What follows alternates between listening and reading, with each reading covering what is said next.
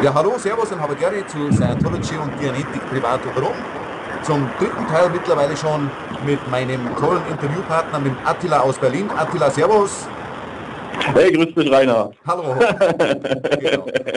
Und wir haben uns gedacht, oder ich habe mir gedacht, erzähl doch einfach mal, was hast du denn in der Zeit von Scientology oder bis jetzt, was hast du Gewinne gehabt oder was hat sich verändert, was ist so passiert?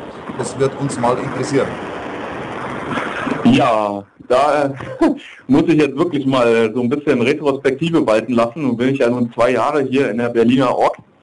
Ähm, also meine Gewinne mit Scientology gingen sogar noch äh, zurück, bevor ich äh, hier in der Org angekommen bin 2011. Äh, davor hatte ich mich ja nun schon beschäftigt mit so einigen Materialien und ähm, hatte unter anderem, das glaube ich aber nicht von dir, das war noch von woanders, äh, einen Kurs für Finanz finanziellen Erfolg.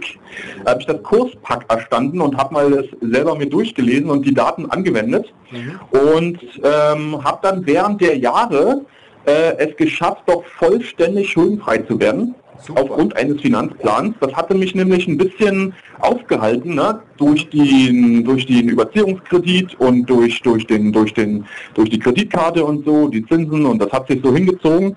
Und nun hatte ich das angewendet ähm, und äh, bin dann Schritt für Schritt schuldenfrei geworden, zusätzliche Jobs gehabt und gemacht, mache ich auch immer noch. Und äh, bin also viel auf Achse, habe wenig äh, Tätigkeiten, die mich nicht voranbringen, sowas wie Fernsehen oder sowas, das, äh, ja, ich habe nicht mal so ein Gerät zum Beispiel, äh, also diese ganzen äh, Zeitverschwendungsmöglichkeiten, die gebe ich mir jetzt gar nicht.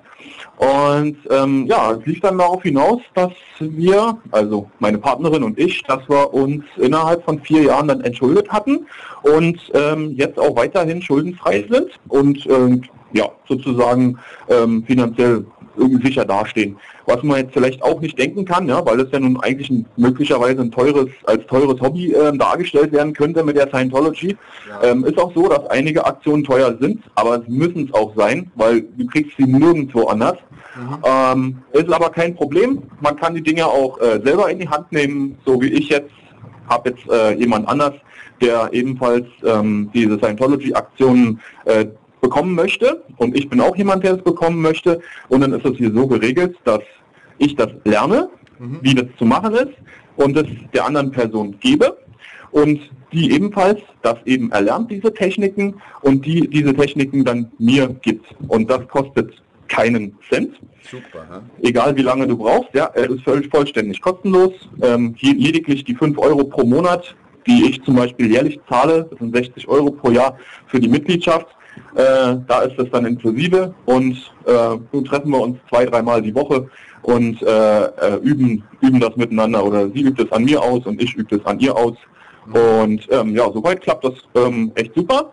Und ja, den Geldbeutel schont es auch. So kann ich mir mein, mein Geld für die Bücher, für die Bücher und Materialien äh, aufheben und mir die sozusagen kaufen.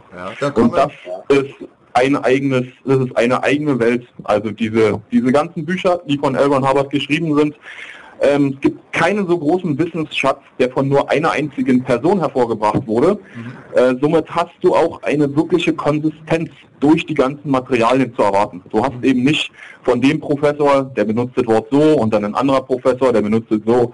Das ist eben mal wirklich auch diese einzigartige Stellung unter diesen, unter den Wissenschaften und ähm, sehr ergebnisorientierte Wissenschaft. Also es zählt nur das Ergebnis und nichts anderes. Nicht wie lange das braucht oder wie man dabei aussieht oder so. Es wird nur ergebnisorientiert gearbeitet und es wird so lange gemacht, bis das Ergebnis steht und auch nicht länger.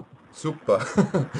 dann, dann, Attila, dann kann man im Großen und Ganzen sagen, dann ist es äh, eigentlich gegen der Meinung, dann hast du eigentlich nicht in Solo, in, für Scientology das Geld verbraucht, sondern durch Scientology eigentlich Geld verdient, sagen wir mal so grob gesagt, oder? Ähm, es war so, nein, meine Arbeitseinstellung hat sich auch extrem geändert. Also ich bin viel aktiver ähm, in meinen Jobs und ähm, äh, ich bin nach einem 8-Stunden-Tag nicht müde, sondern eher, wenn es jetzt einen 12 Stunden oder 14 Stunden Tag habe, dann bin ich danach noch richtig, richtig High und aufgedreht und so. Und ähm, das sind einfach auch Dinge, ähm, die durch das Dianetik-Auditing äh, definitiv gehandhabt wurden und eben auch durch die Ausbildung, dass du eben zum Beispiel auf der, auf der Arbeit nicht denkst, wer bist du, was ist, was ist deine Position, sondern du denkst damit, was hast du, was ist dein Produkt, was willst du erreichen. Ja, willst du äh, eine, gesäuberte, eine gesäuberte Treppe haben, dann bist du derjenige, der das, äh, dafür sorgen muss, dass das gemacht wird. Und dann kann man im dritten Schritt von dir behaupten, dass du der Cleaning Man bist. Aber du denkst immer mit dem Haben, mit dem Produkt, was du erreichen willst. Das ist aber nur ein ganz kleines Detail. Das kann und muss sich auch jeder selber anlesen. Mhm weil es wird immer etwas anders dargestellt. Da kann jemand noch so direkt und genau korrekt das gelernt haben. Wenn er das mündlich wiedergibt, wird immer eine kleine, die Möglichkeit, das äh, misszuverstehen, wird immer ein bisschen größer sein. Also unbedingt lesen, das Buch Die Probleme der Arbeit. Hm. Ganz simples Buch, das hat man auch, wenn man nicht viele Bücher liest und so, das hat man auch wirklich an, an zwei Nachmittagen durch und es liest sich sehr leicht. Meine Empfehlung dazu, ich habe schon lange hinter mir und ähm, die Probleme der Arbeit für mich sind gelöst. Super, Attila. Gut, dann sind wir heute eh schon wieder am Ende. Passiert. genau. Äh, Attila, dann bedanke ich mich wieder für das, das nette Interview. Und jo. dann sagen wir wieder gemeinsam zu unseren Hörer oder Seher oder wie auch immer, sagen wir einfach wieder Servus und Tschüss bis zum nächsten Mal, oder? Jo, macht's gut, Leute. Ciao.